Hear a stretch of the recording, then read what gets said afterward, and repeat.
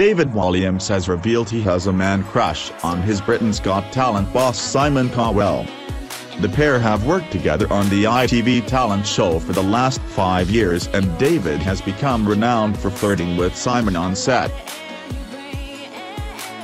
And appearing on tomorrow night's edition of the Jonathan Ross Show, David admitted he does have a thing for the 58-year-old. He said, I like to make him squirm. It's hard not to have a bit of a crush on him, he is a star so you get quite excited when he is around. I have a little bit of a crush on him but we do have fun together. Someone said last series, because we'd sit together and have our dinner together, you're like brothers together. It was quite sweet because there is a nice side to him. David also recalled to Jonathan about the time his beloved mom Kathleen baked Simon a cake, only for the judge to be a bit too blunt in his critique of it. He explained, Simon said, get your mom to bake me a Victoria sponge cake. And then she brought it in and he tasted it and went, bit dry.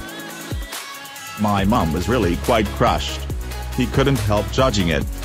Speaking about Simon at length, David also revealed how the star didn't want to go for dinner with him after he received his OBE. He said, I actually invited Simon and he said do you think I want to go and celebrate with you while you get an honor? I went, well you might. He was like, you think I would be pleased for you? Because he is very competitive and he thinks that he should get a knighthood.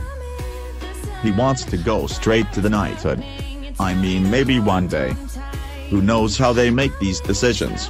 I suppose if enough people thought he should get one. But it would be annoying if it was Sir Simon Cowell.